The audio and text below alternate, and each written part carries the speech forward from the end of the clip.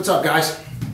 So it's been a while since I did a video and I just wanted to do kind of an update video and more just kind of a informational thing. There's some changes that I made.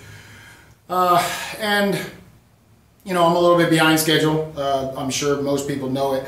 I'm not doing a very good job though of, of staying in contact with everybody because I, I, I I'm, I'm super blessed because I, I, I couldn't imagine that this, uh, you know, would even be what it is now. Um, and I am about at capacity for being a one-man operation. In fact, uh, I am making some advancements in being able to have some of my parts made uh, out of my shop, uh, especially some of the components that are interchangeable from all three sizes of the ramps, which is well, something I want to touch on. I, I got rid of the extended version of the ramp, uh, and there's just one size now. As far as the length is concerned, uh, there's still three different size truck ramps. Uh, there's the 51 inch, which is for the Ranger and the Tacoma type trucks. 55 inch, which is like a mid-range, you know, uh, I think the Nissan Frontier maybe, um, Dodge Dakota, like just weird size trucks. Uh, the over when I'm saying the, the, sizes that I'm telling you now are actually the overall width. Um, it's not the size of the actual opening of the ramp. So a 51 inch ramp has a 48 inch opening. Uh, 55 inch ramp has a 52 inch opening and a 60 inch ramp has a 57 inch opening. Um, so, you know, you'll just keep that in your mind if you're thinking about which one you want or whatever. Um, but there are no longer like extended and standard.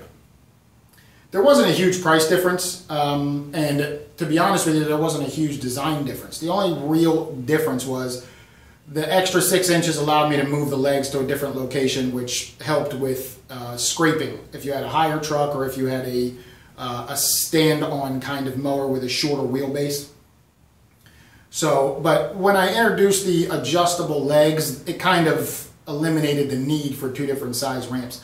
And having those two different sizes made it so that I had to keep, um, you know, two different sizes of expanded metal. Um, and actually, technically, it, I had to keep six different sizes, but um, and then all of the pre-cuts. I had to have some extended pre-cuts and some standard pre-cuts, and I was having issues with shipping. Um, the extended versions were a little bit too tight in the box, and it was causing some of the ramps to get damaged on uh, shipments, and that caused a huge delay for me uh, recently, which is one of the reasons why I'm kind of behind schedule right now. Um, but uh, so now there's just one size. There is a 24 inch dovetail option though. The standard ramp, any, any ramp I've ever sold only ever came with an 18 inch dovetail. But you can now, if you want to, get a 24 inch dovetail. Uh, that option's $150 right now. I think it's gonna go up though, uh, either to 175 or 200 and that is mostly because there's an adjustment in my shipping costs. And that's, again, that stems from uh, some of the packaging issues that I've had and the damage and all that stuff. So um, but that's on the site right now for 150 and I, I haven't changed it yet, uh, but I am going to change the price on that. And then I also add um, added an option to have it painted. I just paint it myself. It's an HVLP spray gun. I use Rust-Oleum and you know I just give it a, a, couple of coats. I don't prime it and acid etch it and all that stuff. It's just basically what you would do if you got an unfinished ramp unless you're having it powder coated. Um, and uh, you know, and it's you know it's a pretty it's a pretty decent durable coating. Uh, it's not going to hold up to all kinds of crazy salt and beatings and stuff. You'll have to recoat it maybe once a year, maybe once every two years. But um, you know, won't you'll be able to use it right away out of the box, and you won't be you know pressed for time with trying to get it painted. And you know, it, it's kind of awkward to try to paint. You lose a lot of the spray when you try to spray the expanded and, and all those things. So I figured I'd try to take some of that out of the equation. Um, so, but you know, adding that option adds a little bit of time. I had to get a, a, place set up where I could paint without it, you know, I'm in Florida, so, you know, rain's a, a pretty common thing. So I, I, needed to be able to do it whether it was raining or not. Um, so there's that. Uh, so I changed the size of the ramps. I added the dovetail. Um, uh, I offer or added the painting option. I also changed the way that I wire uh, the ramps now. So before, if you have some of the earlier ramps, you know that I, I used uh, wiring and I integrated it into the ramp. So, you know, I drilled holes, ran the wires inside of the inside of the tube. And if you wanted to have it powder coated, you know, you'd have to cut the wires and pull them out and then try to feed them all back and it messes up the grommets and all that stuff. It's just a pain in the ass.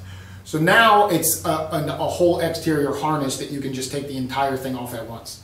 Um, and that will prevent you from having to have the issues that come with having it powder coated. So um, most people still uh, order it there because you know they're either going to have it powder coated themselves or they don't want to pay the 150. It's you know the only, the 150 doesn't really give me much of a profit or incentive. It's just something that I want to be able to offer as a more complete product. So so there's that. Um, I will be offering powder coating soon we've been in a process of building a powder coating oven for months. we were kind of kicking around the idea of whether it was going to be electric or gas. We've decided to go with gas. Um, we've been able to powder coat for a while, just not something the size that we have. My, my brother's been powder coating for a while, and he's, you know, mostly uh, accessories and some custom pieces that uh, people request, but, um, you know, for audit for cars, not for anything that I do. But, uh, you know, we were in a process of building, but, you know, he was buying a house and moving and all that stuff, so we didn't know whether we were going to wire it or whatever. So we're working on it, but in the meantime, I just, I don't offer it because if I had to have it done, um, you know, it would add time and expense to me that I'd have to pass on to whoever's having it done.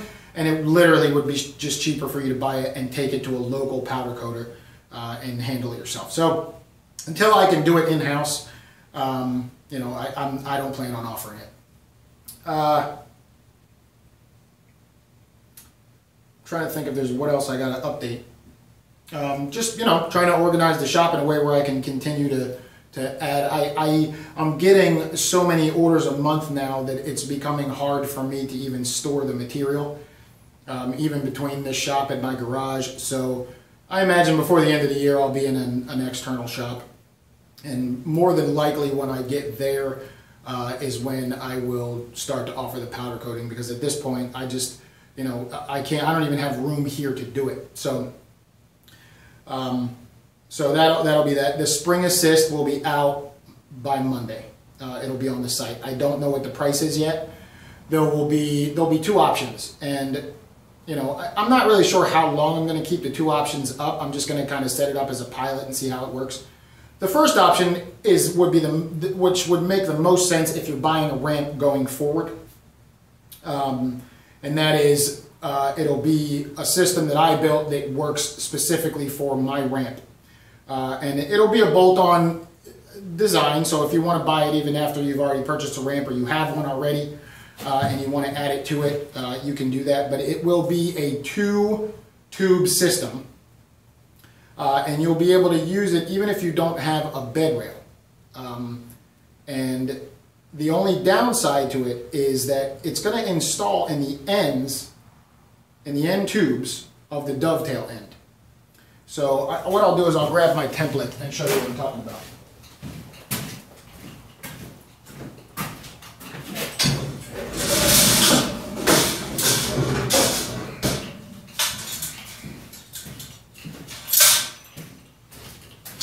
So this is what I use when I'm making uh, swing arms.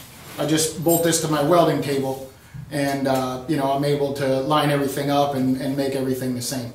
But this is kind of indicative of a dovetail end uh, that, they, uh, of the ramps that I, that I built. And there's an open end here uh, that obviously comes all the way through. And what the way that it's going to install is it's going to install either on the top rail and bolt into the expanded so that you can just kind of adjust it to the height you want and all that stuff, or it will install inside of this tube. Now, if this comes to a point on your truck where you can't see all the way through it, like there's an obstruction from your truck itself, that system is not going to work for you. Um, so, but if you have the room, then, you know, then it'll be an easy install and it will go on and come off with your ramp as you as you remove it if you if you remove it often enough for it to matter. Um, the other option is going to be a there's an off-the-shelf system um, called an Easy Gate. It's just one tube. It says it's good for 185 pounds. Uh, I don't know how that's going to translate to the ramp system that I have. The bifold section of a 60 inch ramp is about 113, 115 pounds. Um, now, obviously, you're not lifting that entire weight because of you know pivot points and leverage and things, but uh, with the bifold design, it doesn't allow you to mount the spring chain or the connection point uh, in its optimal location, which would mean like, so the ramp is, you know, the bifold sections of the ramp, let's say, are, are 80 inches.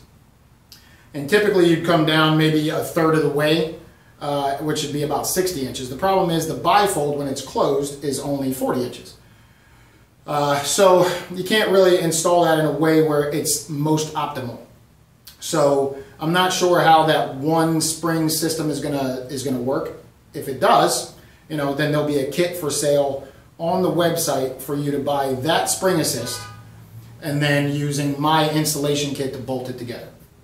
Uh, so there'll be a few options, but the main option is going to be a system that I designed myself uh, that works specifically for my ramps and you'll be able to install it either on your bed rail if you have one or if you don't, it'll mount to the ends of the dovetail. So um, I think that's it for updates. Uh, if you have a ramp with me right now that's late, I apologize. I am going to be sending you something for the, the, the, the delay.